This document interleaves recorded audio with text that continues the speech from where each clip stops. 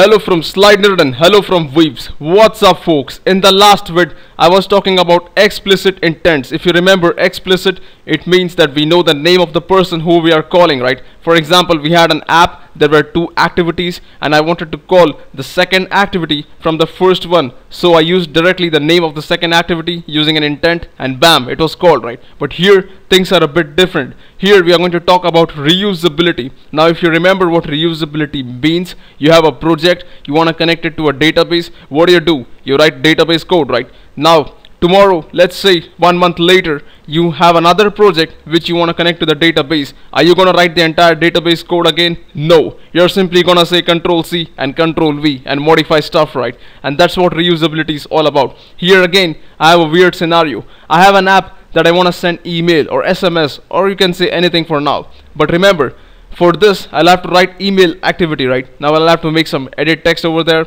Then I'll have to handle some functionality of sending email.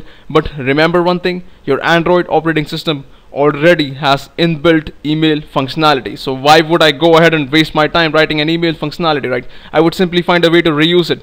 So what I have is I need email functionality in my app I don't want to waste time building email. I will use an existing activity. Now remember, just the way you install apps, your Android operating system or your Android device also has pre-installed apps and email is actually, you can say one of them that handles everything. So even it has activities, services, broadcast receivers, content providers and whatever. I don't know exactly which activity on my device can send email. Now all you know is that you want to send an email. Now you obviously don't know the name of the activity or which package it is inside inside your Android device, right? So you need a way to define the functionality and let Android call the right person to do your work right. That's what implicit intents is all about.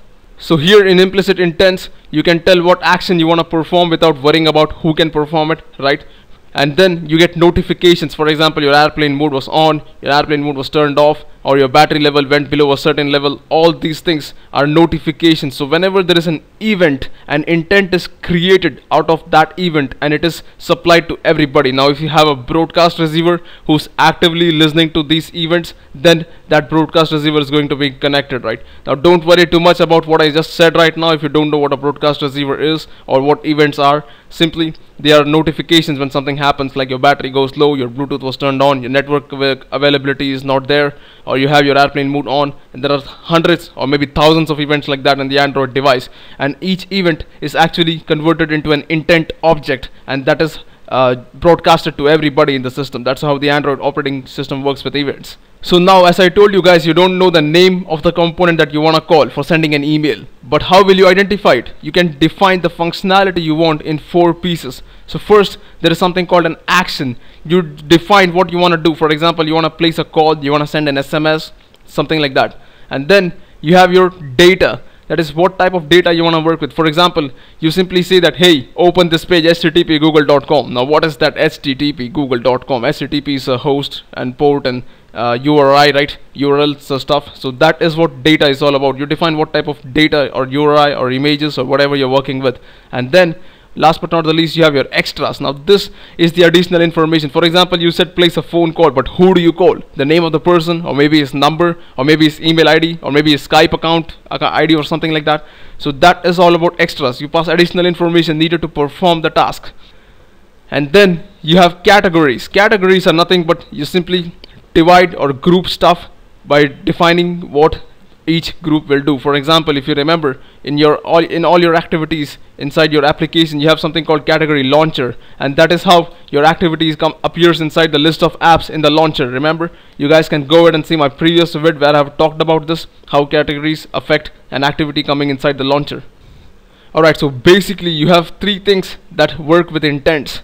If you want to call somebody it can be either an activity or it can be a service or it can be a broadcast receiver. Now remember activities and services come under one category and broadcast receivers come under a separate category. You can call any one of them using an intent object. Now there are methods like start activity start activity for result start service bind service start send broadcast send ordered broadcast send sticky broadcast and stuff like that. Now don't worry I will talk about the methods in detail later. For now we guys are keeping everything theoretical alright the component that you call doesn't need to be running actively. The package manager in Android is the guy who's responsible for handling intents. Alright. So when the package manager receives an intent request, it's gonna check who's running, who's not running, and it's gonna call the person regardless of whether they are running or not running. In the next vid, I'm going to talk about intent resolution or how intents work in detail with the package manager. If you like what you saw, please subscribe to my channel, comment, let me know what you think about this. Thanks for watching. I'll catch you guys later. Have a nice day.